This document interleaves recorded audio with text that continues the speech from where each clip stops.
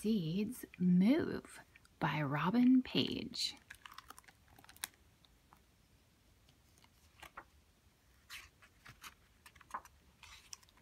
A tiny seed can one day become a flower, a fruit, or even a giant tree. Every seed, big or small, contains the beginnings of a new plant. But a seed needs sunlight, soil, water, and an uncrowded place to put down roots. To find all these things, a seed must leave home. It must move. A seed hitchhikes. Spiky stick tight seeds snag in a raccoon's fur and hitch a ride. They may travel a long way before they fall off.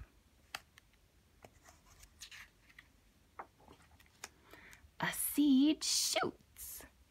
A human touch, a passing animal, or a gust of wind, the slightest jostle can send exploding cucumber seeds shooting from their pods.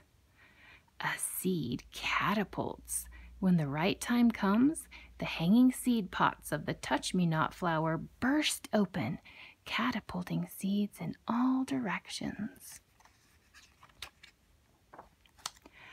A seed drifts.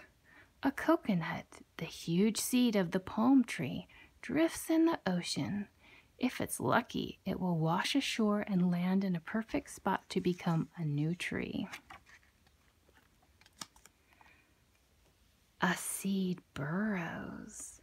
Attached to a bloodroot seed is a tasty tidbit that ants love to eat. The seed tricks the ants into dragging it to their underground nest. There, the ants eat the snack and they bury the remaining seed. A seed rolls. One kind of African grass seed looks and smells just like the droppings of an antelope.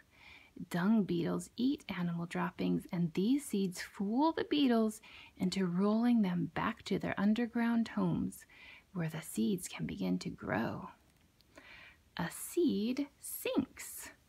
A lotus seed drops from its pod and sinks to the bottom of a pond. There it will nestle into the mud and sprout. A seed hides. A western scrub jay collects an acorn, the seed of an oak tree, and carries it in its beak to a distant place.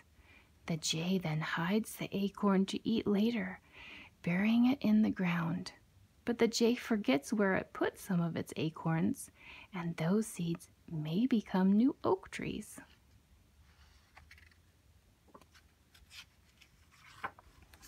A seed floats.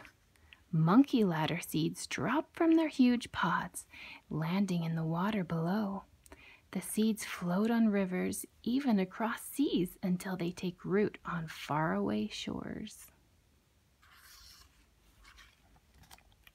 A seed squirts. The durian is one of the orangutan's favorite fruits, but its seeds are bitter. The orangutan eats the fruit and then squirts out the seeds A seed scatters. The spiny mouse nibbles on the fruit of the taily weed, but the seeds of this fruit taste terrible, so the mouse spits them out, scattering them all over. A seed falls. An unlucky mouse eats a wheat seed, then gets snatched up by a hungry hawk. After the hawk eats the mouse, it coughs up a pellet that contains the mouse's fur and bones, along with the undigested wheat seed. The pellet falls to the ground where the seed can sprout. A seed parachutes. When a milkweed pod splits open, it releases hundreds of seeds. Each tiny seed is attached to silken threads that parachute in the wind carrying the seed far away. A seed plunges. The seed pod of the red mangrove plunges into the water. The pod will drift away, then settle to the bottom of the marsh and put down roots. A seed helicopters.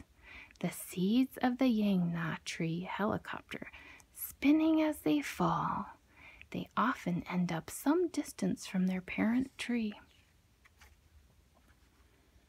A seed plops. Throughout the summer and fall, a hungry brown bear eats mountain ash berries and other fruits. As the bear wanders in search of more food, the undigested seeds plop inside a large plop out inside large piles of the bear's poop. And then a seed grows. We also help seeds move and grow. Farmers and gardeners all over the world plant seeds. You can too. Try tucking a watermelon seed into the soil, then water it and see what happens. A seed grows and grows and grows.